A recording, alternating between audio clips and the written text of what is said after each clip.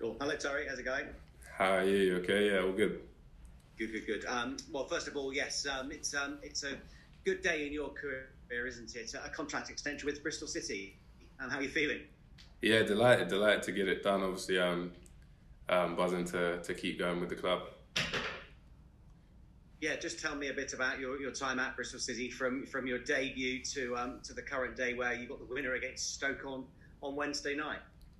Yeah, obviously it's, it's been it's been quite a quite a journey for me. Um, obviously I had had um, a few loans before coming back and, and, and playing here. So obviously up to up to yesterday, scoring the winner was, was a big a big moment for me, and obviously my uh, fiftieth appearance as well. So buzzing.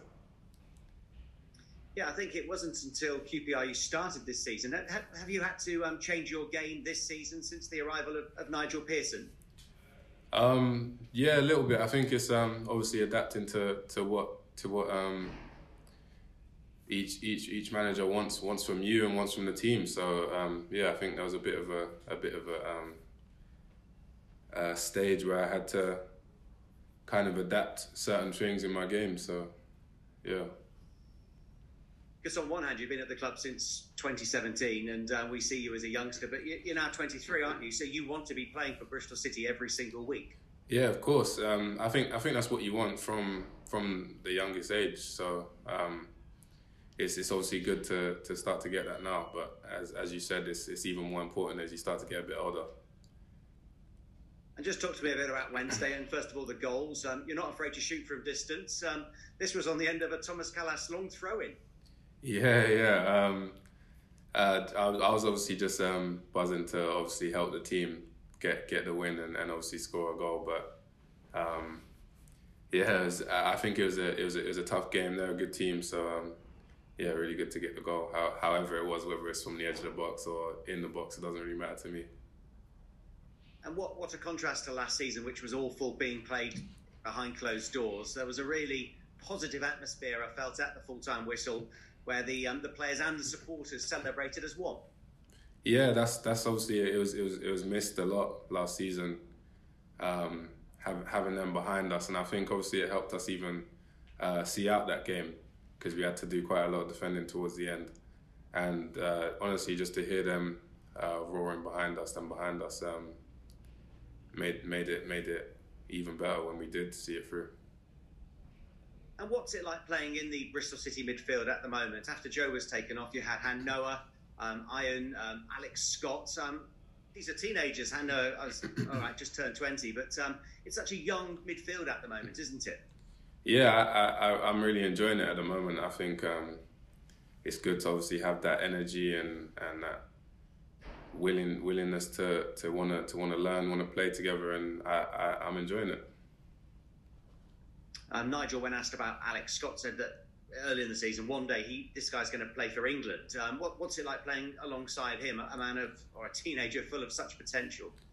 Yeah, on, honestly, they're they're, they're both um, great great players with, with a lot of potential, and it's, it's it's a joy to to watch and to play to play alongside him and and also Ayman. And I feel we have a lot of good young players coming up here.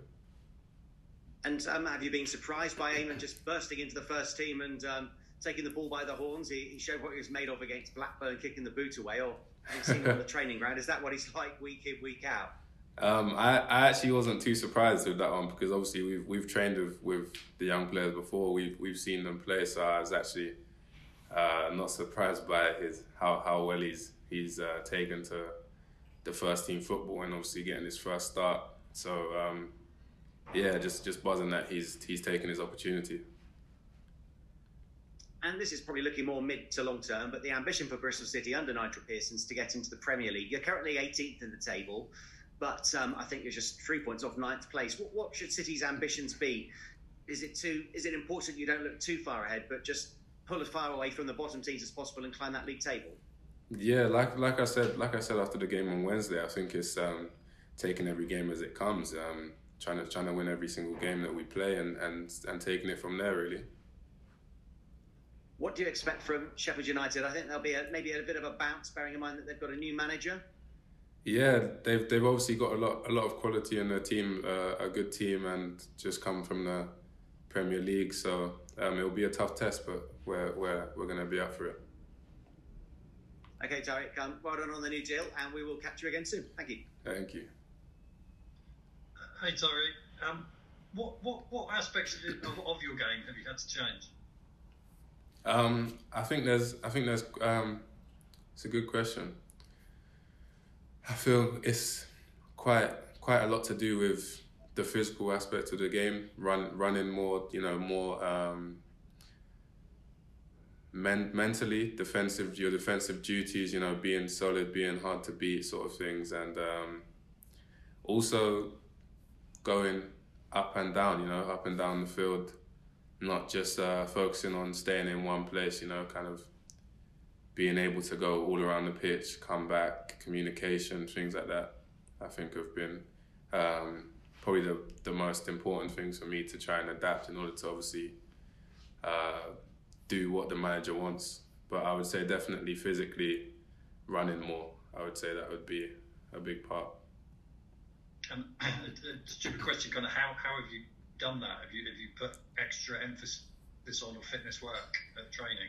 Yes, it's it's been it's been um you know working working the gym you know to try and um, improve power in order to like obviously spring off and try and press and try and um, you know get into those positions quicker and just just um, running and fitness in, in training, yeah. And I think also it's, it's, it's a mental side. You know, if, if you have that idea in your head, you're you're more willing to do it, and you're you know ready to do it. Because Nigel's talked about something's almost there's been like a light bulb moment for you where you've kind of realised that your kind of your your natural tool, not not so much your natural, but the talent you've developed um, needs more than just your talent. Um, what, what, is there anything like? Can you can you pinpoint when that happened? Like when you realised was was there something that happened that made you think, well, hang about, I've got to I've got to work on these things more closely. Um, I think I think it's just um, always wanting to to learn. I don't think there was a natural switch. I think it's always been there. As soon as you hear it, you obviously want to learn. But I think sometimes it takes time for it to actually click, if that makes sense. So like you you would have known, or you've been told by the manager or who else that what you need to do is this, this, and this. But I think sometimes it doesn't always happen straight away. You don't always get it straight away. So sometimes it takes some time to adapt or get used to it and then kind of um, apply it. You know. And on the mental side of it, is that you watching how other midfielders play? Is, is that is that something you you perhaps looked at doing? Yeah, I think I think it's it's that, and then also um, I think having it in your mind as you're playing yourself. So, you know, if you have in your head, I want to do this, this, and this, I feel like it's easier to do in those scenarios. So, um, yeah, I think it's, it's having the idea in your head yourself and also seeing it from other people and getting the information. What, what uh, I mean, the obvious question is there anyone in particular or people that you've kind of looked at for, as a reference point? Yeah, obviously, um, the, the the gaffer brought in players like um, Andy King and uh, JMO, who are, who, are, who are experienced characters. So I think um, learning from, but obviously you can learn from anyone. So learning from those two and learning from anyone who who does it well, whether they're younger or older, I think helps. Is that externally, sort of beyond the club? I mean, what I'm trying to get at is there, is there certain players that you kind of watch um, beyond Bristol City that you almost like model, well, not not so much model your game on, but you can take things from. Yeah, yeah. There's there's yeah, yeah. There's there's obviously loads of loads of players that play, you know, World Cup, Champions League that you always want to, you know, model yourself around and watch and see how they're doing it to get to the top. So yeah, there's there's definitely loads externally, but also internally, which is good too. Is there anyone in particular that you sort of hone in on? As like yeah, I'm a, I'm I'm a, I'm a big fan of uh, Pat Vieira who obviously played okay. played played before, but yeah, so he's probably one of my favourites. Fair play. And what sort of midfielder do you see yourself? Nigel said your talent can take you as far as, or sorry, your ability can take you as far as you want it to go.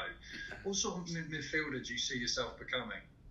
Um, I think it's just more of a box to box midfielder than than a holding midfielder. Maybe I think that's that's probably, and also why the um, running is also more important. You know, just kind of uh, being able to get from one boss to the other without tiring too much and things like that. So I think that's probably um, more of the idea. Great stuff. Thanks, Tori. Cheers. Thank you. Hi, Tyreeq. Hope you're well. Hi. I just wanted to ask, um, in regards to um, your development, obviously you've come from um, the under 23s kind of background development at Luton first. Um, what did you find most beneficial? Was it perhaps playing with same age grade players, or was that loans at, for example, at uh, Newport and Plymouth more worthwhile because you were playing in the nitty gritty kind of football? Um, I'd say for me personally, I'd say it was it was definitely loan football because obviously at your own age, it's, it's I'd say it's easier. There's not as much pressure, and you know, there's no fans, there's no points. It's just more of a relaxed kind of environment. And I think throwing yourself into the the men's football when everything's on the line, fans are you know shouting in the back, It's more of a realistic environment to learn in. I think. So I, I think for me that was definitely uh, more beneficial for my for my um, progression. And then just you spoke briefly about Andy King and obviously Matty James coming in. They're players in your position um, that you've learned from. Um, you're you're 23 now. Do you feel that perhaps um, the younger players like Benarous and that coming in, that you're a player in the future, that you might be the player that puts your arm around them and gives them advice as well? Um, yeah, I'd, I'd, I'd, hope so. I'd hope so because obviously um, they're they're great players as as as they are already. So hopefully they can carry on with that. But um, hopefully there's there's some things that I can help them with, whether it's on or off the pitch, because obviously I've been through that experience already. So yeah, I'd, I'd like to think so. Yeah. And then just the last one as well. Uh, would you say perhaps midfield is probably the hardest position to get to in the team? There's a lot of options in there, and um, sometimes there's had to be changes and forced changes. But it's probably one of the most difficult places to keep your play, uh, first team place down, perhaps. Um, yeah, I'd say there's obviously there's there's great competition in there, but I think that's that's even better for for the the midfield for in our team because you know the good competition means you have to work hard and train. You have to be on your game all the time to get in. So I think that's that's quite a good thing for us. Thank you, Terry. Cheers. Thank you.